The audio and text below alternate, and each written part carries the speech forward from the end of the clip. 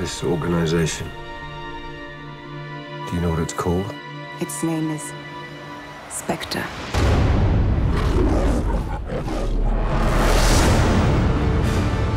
Look around you, James. Everything you believed in, a ruin.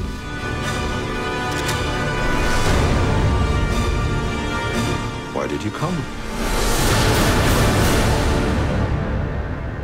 I came here to kill you.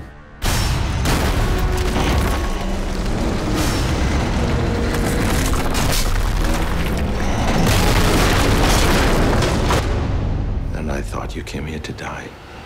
Well, it's all a matter of perspective.